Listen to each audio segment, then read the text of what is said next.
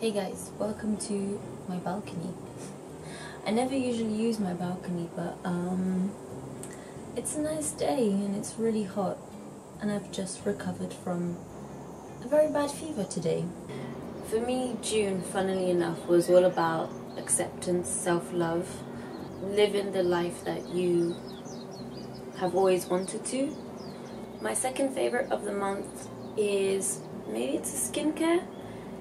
It's the Skin Foods 50 SPF uh, no no sebum sunscreen.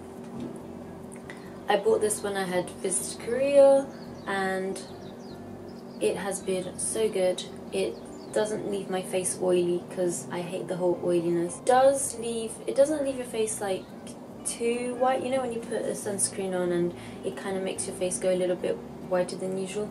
It doesn't do that too much because like eventually when you like blend it into your skin it does go away.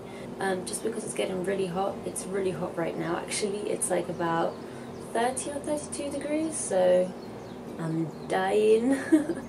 I just really wanted to shoot out here because my room is a mess. Let's see, for clothes, clothes I've been loving some jeans I have from Monki. They are some skinny tight jeans and they're a light wash. I never usually go for light wash jeans just because I don't like the way they look on me. But this one in particular, I like the way it looks. It's kind of high-waisted as well, so it really like shows off my figure. My next favorite of the month, of course, are my new shoes from Y3. Um, I made a whole video about it, um, how I style it, etc. So I'm gonna either put a yeah, I'm gonna put a link below so you guys can check it out. My next favorite is a bag. Um, it's by Places, Places Plus Faces.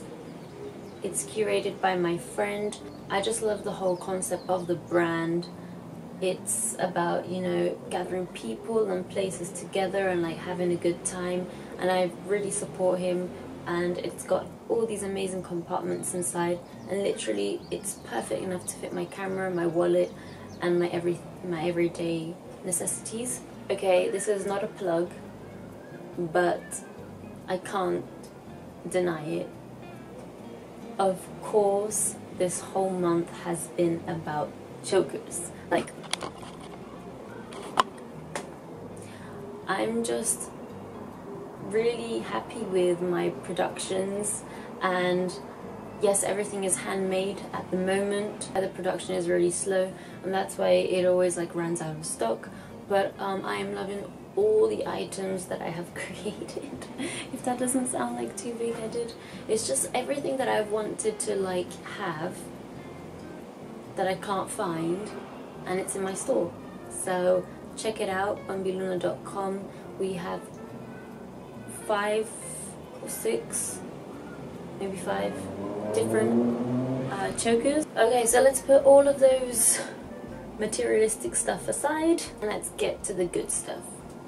This month, the movie that I have loved has been X-Men Apocalypse. It was really good. That, I mean, I'm such a Marvel fan. You guys always see that in my other videos. I always wear my Marvel t-shirt. I have my Marvel, my Marvel coffee cup.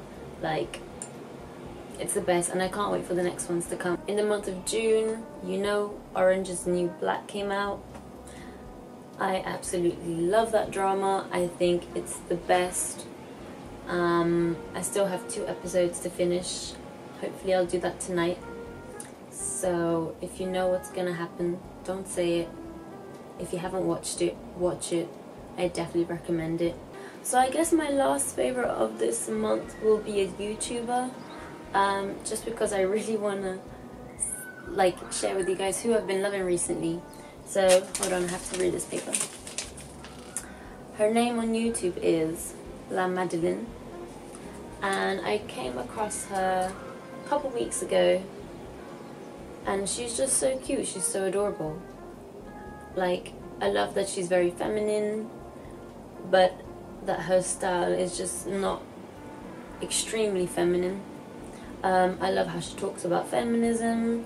I love how she's open about certain topics in her life and I just love the way she makes her video too. Especially the one that she did about Tokyo. I thought it was so cute. Like, it was very inspiring. So do check her videos out as well. Um, sorry if this video is kind of lame.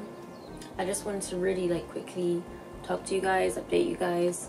I think my next video I'm going to make a Q&A because I have new subscribers and obviously maybe some old subscribers would like to ask me some more questions so please feel free to like leave a comment below and let's see if I can do the next video Q&A where I'll just answer as many questions as I can. And then yeah. So